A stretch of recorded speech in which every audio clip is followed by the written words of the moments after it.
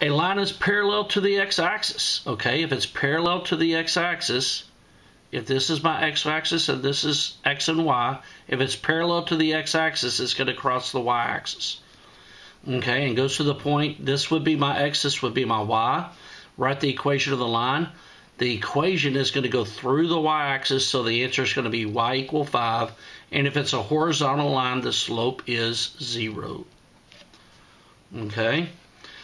A line is perpendicular to the x-axis, so draw your x and y-axis.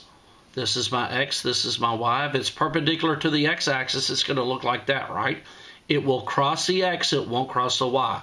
So this is my x, this is my y. It's going to cross the x-axis at negative 3. If it were to cross the y-axis, it would be y equal 2. Okay? The slope of this line is no slope or undefined.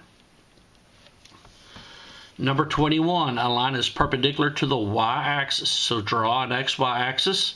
If it's perpendicular to the y-axis, it does this, doesn't it? It's going to cross the y-axis. So this is my x, this is my y. It doesn't cross the x, it crosses the y, and it will cross at y equal negative 1.